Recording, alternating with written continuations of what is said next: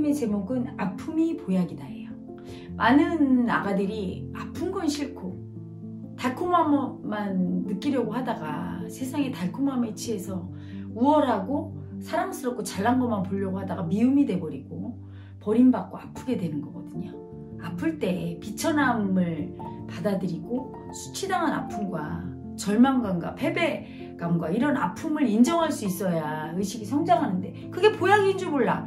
입에 쓴 보, 입에 쓴 약이 보약이죠. 그렇죠? 그래서 제가 참 가슴이 아파요. 아픔을 안 줄 수가 없어. 공부 안 되고 그 아픔을 안 느끼려는 아가들한테. 그래서 제가 아픔을 쓰고 아픔을 주는데 그림에서도 그 아픔을 좀 인정하라고. 그게 얼마나 보약인지 그린 그림이에요. 그래서 바탕이 아프죠. 엄청 아프게 하고 이 요술 램프에서 보약이 나오는데 이 아픔이에요. 이게 빨갛게.